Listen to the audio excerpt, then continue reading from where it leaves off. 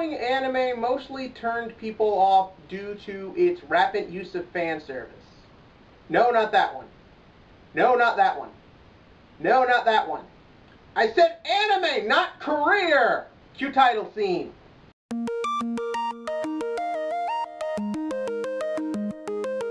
Rail Wars is a 2014 action anime that follows the adventures of four young people as they basically just sort of act as security police people in a Japanese national train station.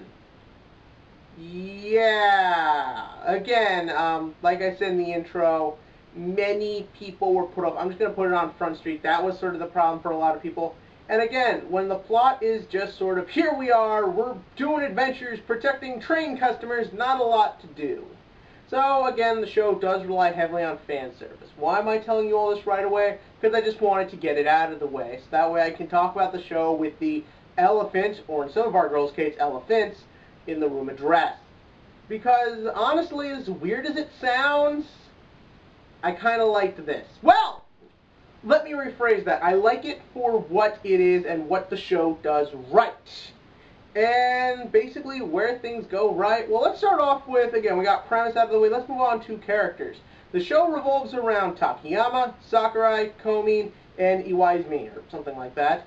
And they're sort of your typical group of characters. You got Takayama, he's our main character. There's nothing really wrong with him, but there's nothing that really stands out about him. He's just sort of the typical generic, he looks very plain.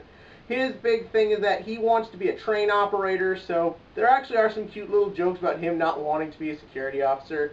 And he knows a lot of random train facts that get implemented every five minutes. And some of those are cute, some of them are kind of interesting, but of course, for a lot of people, after a while, that just gets kind of old and the character for the most part is pretty typical for harem type protagonists.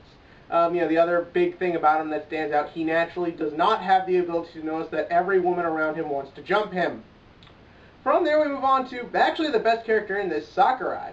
She's actually really funny and, you know, she's kind of goofy. Her big thing is that she's like the extreme opposite of Takayama. She's very fast. She likes to hit people. She's very violent. She basically she wants to, you know, basically be a cop, for, even though she's here for whatever reason we never really find out.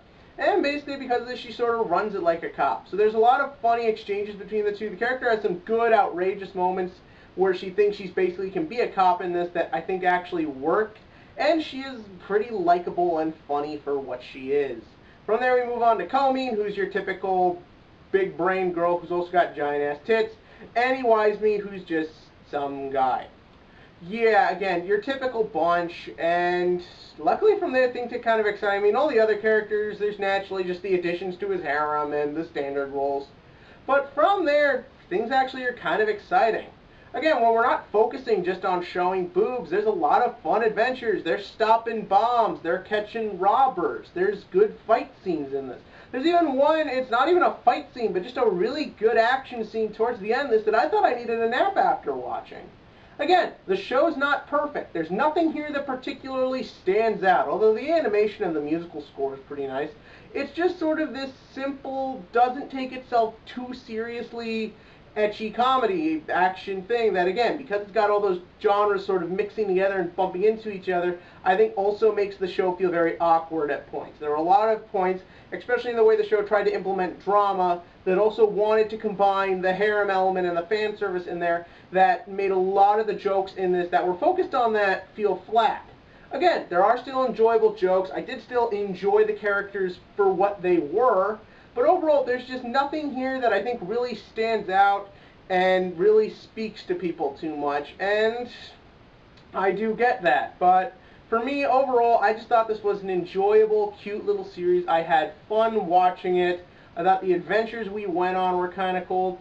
And again, I'd be lying if I didn't think they didn't do a good job making the characters, I know I'm going to get people hating with this, seem physically attractive.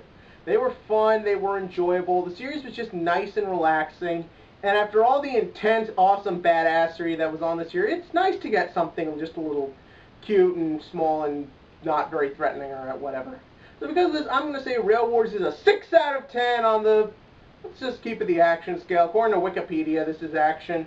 And again, there is some cool action in it, but overall, watch at your own risk. Know full well it's not very big or very extravagant. Take it for what it is, and you should be able to enjoy it enough, hopefully.